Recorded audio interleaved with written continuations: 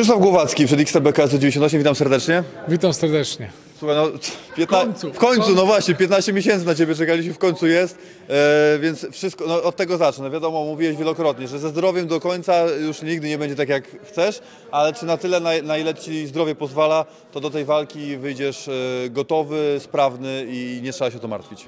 No pewnie, że tak, nie trzeba się o to martwić, bo jeżeli by było coś nie tak, to na pewno bym do tej walki nie wyszedł, tak jak było w czerwcu, przed czerwcem. Była jakaś tam kontuzja, także wolałem nie ryzykować, bo jednak ja już mam swoje lata, po co zdrowie ryzykować, tak? Także od razu odmówiłem tę walkę, przesunęli fajnie, teraz idealnie. No, widziałem się dwa dni temu z Piotrkiem Strusem w przelocie w WCA. Mówił, że wszystko dobrze, że przygotowany, że forma jest i tak naprawdę my nie wiemy czego się do końca spodziewać, bo tak długo Was nie widzieliśmy, szczególnie Ciebie, że nie wiemy czy będzie knockout za pleców teraz, czy będzie znów knockout do, do siadu, czy będzie obrotówka, czy latająca balacha, czy będzie dużo parteru, czy będzie więcej stójki, czy będziesz kopał, czy będziesz obalał. Tak naprawdę tyle się mogłeś nauczyć, że my nie wiemy czego się spodziewać. Spokojnie, spokojnie. Najważniejsze to wyjść skoncentrowanym i zrobić swoją dobrą robotę, a wtedy będzie naprawdę bardzo dobrze, będzie ładna wygrana. Słuchaj, no między walkami z, y, z pięściarzami i kickboxerami, no zawsze kickboxer ma tą przewagę, jeżeli chodzi o kopnięcia. No, wiadomo, no nie, nie wiem, nie chcę powiedzieć, że to miało znaczenie w walce Artura za Arkiem, no bo nie do końca, natomiast jakby waszej może mieć. Czy wy no macie na to pewno zwróconą uwagę e, i czy jest pomysł, jak to wykorzystać, żeby te kopnięcia sprytnie kontrolować? No bo mówmy się, no, no niskie kopnięcie da się skontrować e, bardzo skutecznie. Powiem tak. Jutro, po, pojutrze, Jutro mam nadzieję, że nie. Jutro nie. Pojutrze, poku, pojutrze to pokażę, bo mówić to można dużo, czy jestem gotowy, czy nie jestem gotowy, także mogę mówić i mówić, a wolę wyjść i to pokazać.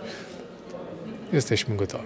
Okej, no zapytam w takim razie o, o to, jak się przygotowywać do Dawida, wiedząc tak naprawdę, te, mając te 15 minut z Liberca, no bo wiele więcej nie wiecie i czy to jest faktycznie walka, o której się opieracie, czy nie, nie skupiacie się tak mocno na rywalu, tylko bardziej na tobie i na tym, co ty będziesz w tej walce wykonywał. Oczywiście, nie, że się nie opieramy, bo to jednak kawał czasu był, bo to był luty, a to jednak troszeczkę czasu minęło, także Dawid na pewno się rozwinął do tego czasu, także bardziej się skupialiśmy też na mnie, żeby właśnie zdrowy wyszedł do walki, a wtedy będzie wszystko bardzo dobrze. No i na tym się udało.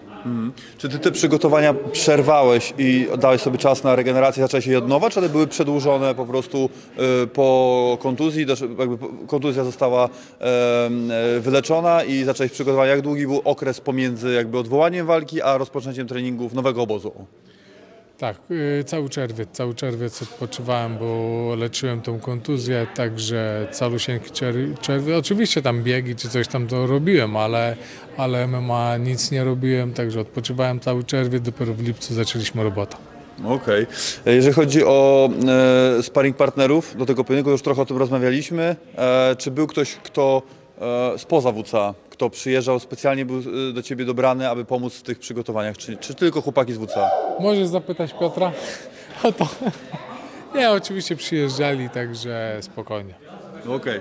No to o wagę zapytam, no bo trener Strus y, mówił, że to nie jest niemożliwe, żebyś zszedł jeszcze niżej. Ja wiem, że ten pomysł tobie najmniej się podoba niż jemu, no bo to ty będziesz bił, a nie on, ale czy ty to widzisz w ogóle w przyszłości? Wiesz co, ja nie jestem tak zawodnikiem jak tutaj chłopacy z MMA, że oni wiesz, dzisiaj będą robili jeszcze 5 kilo.